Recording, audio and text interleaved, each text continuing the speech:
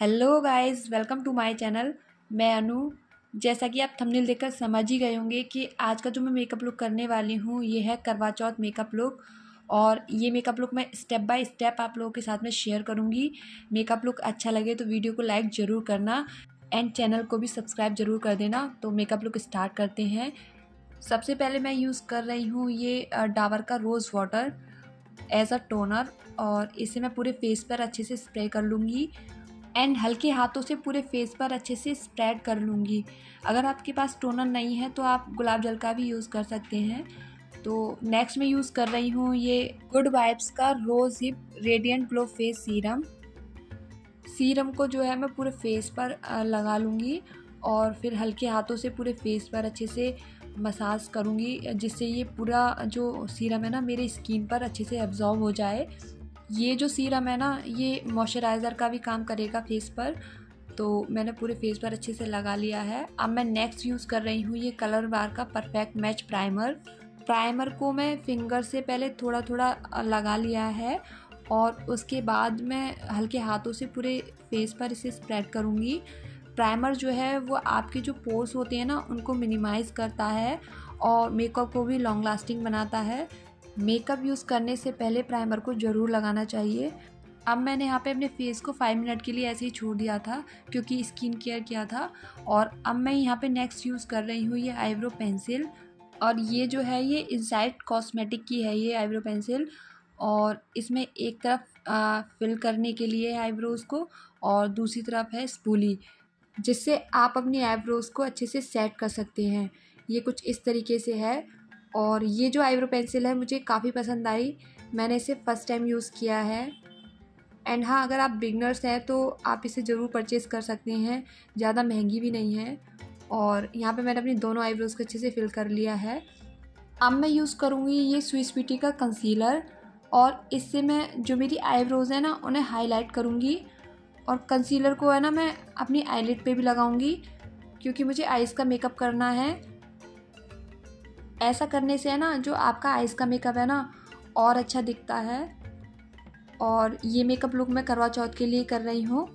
तो इसलिए मैं अपनी जो मेरी आईब्रोज़ हैं, उन्हें पहले हाईलाइट कर रही हूँ।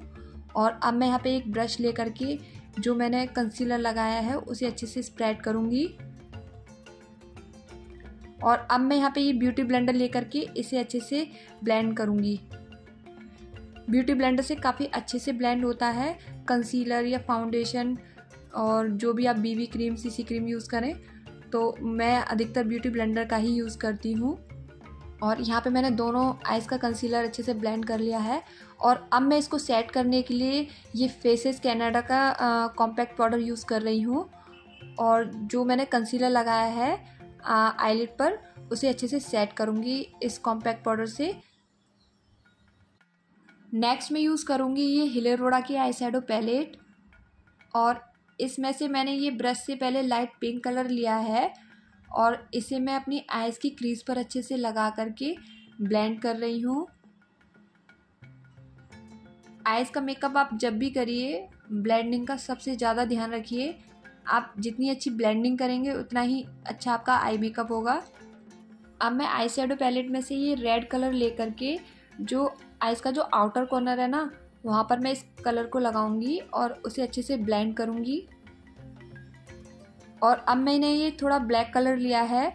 ब्लैक कलर को मैं जो मैंने आउटर कॉर्नर पे रेड कलर लगाया है, उसी के साथ में मैं ये कलर को लगाऊँगी और इसे अच्छे से मैं ब्लेंड करूँगी, जिससे जो कलर है ना, आपस में अच्छे से मिक्स हो जाए। एंड अब मैं ये फिंगर से सिमर कलर लूँगी। और जो मेरी आइज़ का जो इनर कॉर्नर है ना इनर कॉर्नर से हाफ़ मिनट तक मैं इस सिमर कलर को लगाऊँगी। आईलाइनर के लिए यहाँ पे मैं इनसाइड कॉस्मेटिक का ये आईलाइनर यूज़ कर रही हूँ। एंड ये जो आईलाइनर है ये भी काफ़ी अच्छा आईलाइनर है। अगर आप आ, कम प्राइस में अच्छा आईलाइनर देख रहे हैं तो आप इसे ज़रूर परचेज़ कर सकते हैं। और मस्कारा के लिए मैं यहाँ पे ये स्विस ब्यूटी का मस्कारा यूज़ करूँगी। और ये जो मस्कारा है, ये मेरा फेवरेट मस्कारा है। इसे लगाने के बाद है ना, जो मेरी नेचुरल आई है ना, उनको अच्छा खासा वॉल्यूम मिल जाता है, आप देख ही सकते हो। और अब मैंने यहाँ पे फेक आई को भी लगा लिया है। आई मेकअप मेरा कंप्लीट हो गया है और अब मैं यहाँ पे ये मेबलिन फिटमी का फाउंडेशन यूज़ कर रही हूँ। और इसे मैंने फिंगर से डॉट डॉट करके पूरे फेस पर लगा लिया है। अब मैं यहाँ पे ये डैम ब्यूटी ब्लेंडर लूँगी और इसे मैं जो मैंने फाउंडेशन लगाया है अपने पूरे फेस पर, उसे अच्छे से ब्लेंड करूँगी। ब्यूटी ब्लेंडर को यूज़ करने से पहले ब्यूटी ब्लेंडर को पानी में अच्छे से भिगो कर रख दीजिए। उसके बाद उसे अच्छे से स्क्वीज़ करके तब फाउंडेशन को उससे ब्लेंड करिए। काफ़ी अच्छे से ब्लेंड होगा फाउंडेशन अब मैं नेक्स्ट फिर से ये स्वीट स्वीटी का कंसीलर यूज़ करूँगी। जो भी आपके हाइलाइट्स वाले पॉइंट होते हैं वहाँ पर कंसीलर को लगाइए और आपको पिगमेंटेशन की प्रॉब्लम है या डार्क स्पॉट की प्रॉब्लम है कंसीलर को आप वहाँ पे ज़रूर लगाइए। ऐसा करने से जो भी आपकी स्पॉट्स हैं पिगमेंटेशन है वो आ, लाइट हो जाती है। अब मैं यहाँ पे ये ब्यूटी ब्लेंडर लेकर के जहाँ जहाँ मैंने कंसीलर लगाया है उसे मैं ये ब्यूटी ब्लेंडर से अच्छे से ब्लेंड कर लूँगी। तो यहाँ पे मैंने अच्छे से ब्लेंड कर लिया है और अब मैंने ये रेड कलर लिया है ब्रश से और इसे मैं लोअर लेस लाइन पर लगा रही हूँ। जो मैंने आई का मेकअप किया है, वही मैंने कलर यूज़ किया है। और यहाँ पे मैंने ये शिमर कलर को भी लगा लिया है। अब मैं ये फेसिस कैनेडा का कॉम्पैक्ट पाउडर लूँगी। जो मैंने अपना मेकअप बेस क्रिएट किया है, उसे मैं इस कॉम्पैक्ट पाउडर से अच्छे से सेट कर लूँगी। एंड कॉम्पैक्ट पाउडर को है ना, मैं अपनी नेक पर भी लगा रही हूँ और जो भी मैंने प्रोडक्ट यूज़ किया है, वो मैंने अपनी नेक पर ज़रूर लगाया है, जिससे चेहरे और नेक का कलर अलग ना दिखे। अब मैं ये येलो सिमर कलर ले रही हूँ और जो आइज़ का इनर कॉर्नर है ना, वहाँ पर मैं ब्रश से इस येलो कलर को लगा रही हूँ। इससे है ना, मेरी आइज़ जो है ना और हाईलाइट होकर दिखेंगी। काजल के लिए अब मैं यहाँ पे ये वेट एंड वाइल्ड का वाइट काजल यूज़ कर रही हूँ। काजल को मैं अपनी वाटर लाइन पर लगा रही हूँ। और यहाँ पे मैंने ब्लैक काजल का यूज़ नहीं किया है, क्योंकि वाइट काजल है ना, और अच्छा लुक देता है। अब मैं यहाँ पे ये मियोन की स्पॉटलाइट ब्लशर पैलेट यूज़ कर रही हूँ। पहले मैं अपने फेस को कंटूर करूँगी।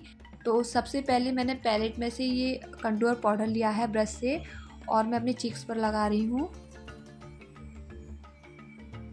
यहाँ पे मैं अपनी नोज़ को भी कंटूर करूँगी। तो मैंने यहाँ पे ब्रश से जो कंट्रोल पाउडर है, वो अपनी नोज़ पे लगाया है शेप देने के लिए। और अब मैं यहाँ पे ये ब्यूटी ब्लेंडर लेकर के जो मैंने कंट्रोल पाउडर लगाया है ना, उसे अच्छे से सेट करूँगी। तो यहाँ पे मैंने चीक्स को और जो नोज़ है, मैंने उसे अच्छे से सेट किया है। एंड अब मैं यहाँ पे ब्लशर यूज़ करूँगी। तो ये मेरा डार्क पिंक कलर है। और इससे मैं अपनी चीक्स को ब्लश करूँगी। ब्लशर करने के बाद जो फेस है ना, वो थोड़ा सा अलग सा दिखता है। थोड़ा सा पिंक सा लुक आ जाता है फेस पर। और मुझे ब्लशर करना वैसे भी काफ़ी पसंद है। और अब मैं यहाँ पे हाइलाइटर यूज़ करूँगी। ये मेरा स्विस ब्यूटी का हाइलाइटर है।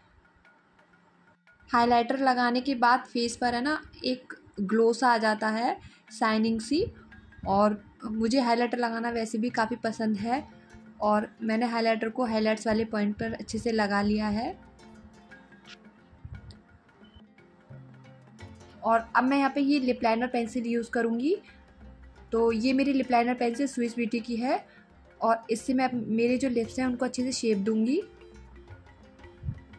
नेक्स्ट मैं यूज़ करूँगी ये ब्लू हेवन की रेड मैट लिपस्टिक ये जो ब्लू हेवन की लिपस्टिक है ना, ये काफ़ी अच्छी लिपस्टिक है। बट इससे है ना थोड़े से ओट मेरे जो है ना ड्राई हो जाते हैं।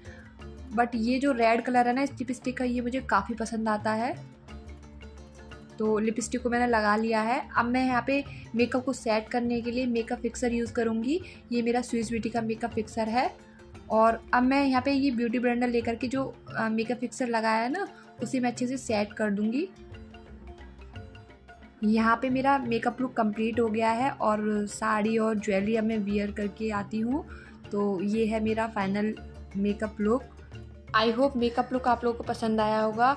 आप भी इस तरीके से अपना करवा चौथ पर मेकअप लुक क्रिएट कर सकते हैं। एंड और प्यारी प्यारी वीडियोस के लिए प्लीज़ मेरे चैनल को लाइक शेयर एंड सब्सक्राइब ज़रूर करिए। कमेंट करके ज़रूर बताना कि ये मेकअप लुक कैसा लगा आपको। And thanks for watching